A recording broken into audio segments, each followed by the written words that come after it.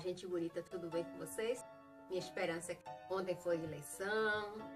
Eu espero que os representantes do nosso país tenham sido as melhores pessoas para começar esse processo de, de mudança, de melhora.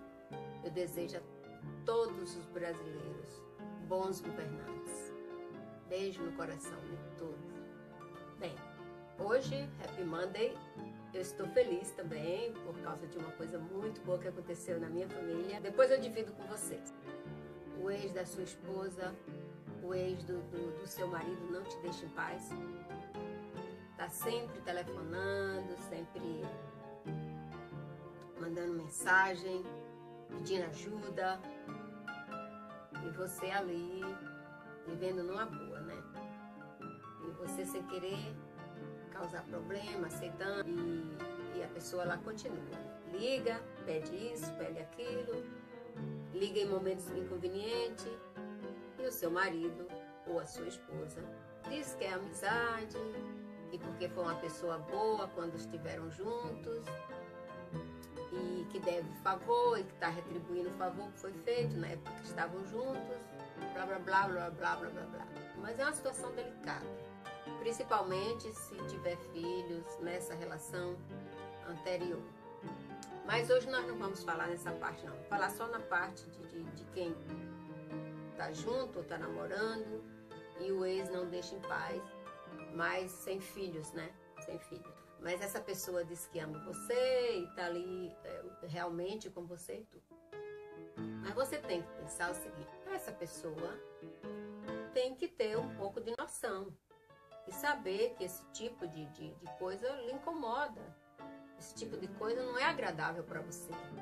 Não é que você esteja com ciúme, mas você também não pode ficar aceitando essa situação. E você tem que dizer para ele o seguinte: olha, uma casa, uma relação, uma convivência não é apenas um quarto onde se faz sexo e amor não é sexo e amor, não é só isso. Uma casa tem vários cômodos, várias dependências, né? E todas precisam ser cuidadas e olhadas, e isso faz parte da nossa vida. Da vida em conjunto, da vida dois. Sua relação com alguém não pode se resumir apenas em quatro paredes. Não em quatro paredes, tem que ser na casa toda. Então, uma pessoa não pode ficar vivendo com você, mas tendo afetos com o ex com, ou com a ex, está errado. Uma, uma relação com o ex ou com a ex é casual, né? Um momento de necessidade, a pessoa liga, se são amigos, a pessoa liga, mas está ligando o tempo todo, incomodando, tentando trazer uma intranquilidade nas suas emoções. Isso não está certo e, e, seu marido ou sua, sua esposa aceita isso e acha que isso é normal, né? E acha que isso que você tá com ciúme e tal, não é nada disso. É que respeito é bom e todo mundo gosta. E numa relação entre duas pessoas, não é só sexo, não é... tem que ter o respeito, tem que ter o companheirismo, tem que ter o senso de que aquilo está incomodando a outra pessoa. Mas se a pessoa finge que não está entendendo que aquilo está te incomodando, diga para essa pessoa. Pergunte para essa pessoa o que significa uma relação a dois para ele ou para ela. Né? Se se resume apenas em um quarto ou se se resume na casa toda. Porque se resumir na casa toda, que faz parte da sua vida, então, tá entendendo o que eu tô falando, né? Ou a pessoa assume você por completo, é disso que eu tô falando, né? eu tô falando assim de uma forma mais é, descontraída, relaxada, falando de, de todos os cômodos da casa, mas eu estou falando o seguinte, ou a pessoa assume uma relação inteira, completa, né? Tá junto ali,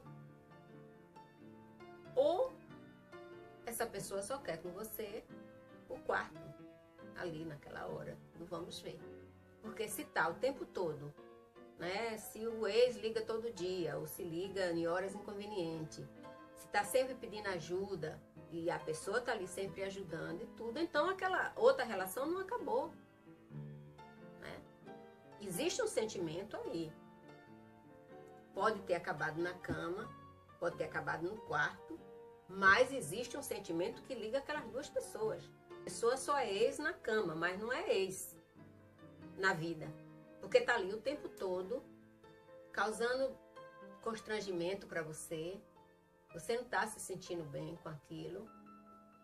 Mas o seu marido ou a sua esposa acha que aquilo é normal. Não é normal, é meu amigo. Não, não é normal não, minha amiga nem meu amigo. Não é normal não. Tá? Se isso é uma coisa que acontece sempre, insistentemente, não é normal.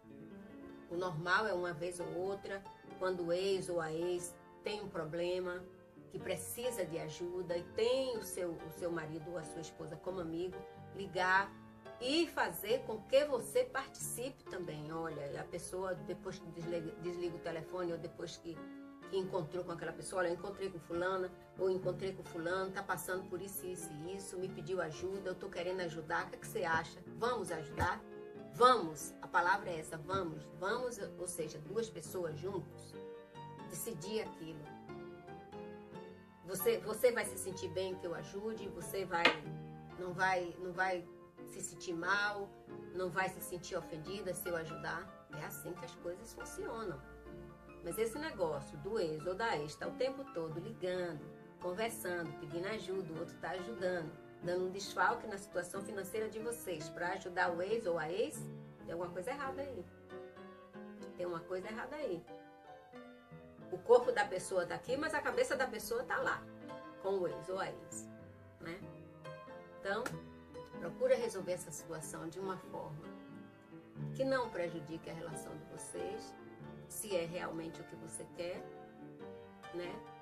E se não, para para pensar, mas não aceita essa situação por muito tempo, porque é uma situação um tanto desagradável. E você não vai querer servir de chacota para ninguém nem vai também ficar né, é, é, construindo escada para os outros subir. A gente constrói escada para subirmos juntos, step, step, step, juntos, ali de mão dada. Então, uma relação é assim, uma relação é a dois, não a três. Ó, Happy Monday, beijo no coração. Como eu disse no, no, no vídeo passado, não aceite coisas que lhe incomodam por muito, porque isso traz estresse, isso traz problemas para a nossa circulação, para a nossa saúde, para o nosso corpo. Vamos procurar ser felizes, porque é a vida de Deus. Um beijo no coração. E até o nosso próximo Feliz.